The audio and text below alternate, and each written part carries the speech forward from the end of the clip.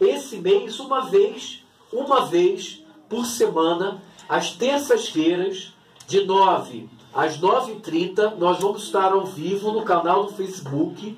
Alienação Parental Basta, Facebook Alienação Parental Basta, que não é só da Concausa, são de vários movimentos do Rio, do Brasil, alguns da América Latina, um pessoal de Portugal que fala com a gente, falando sobre o tema, falando sobre os casos, como se dá a situação da, da, da alienação parental.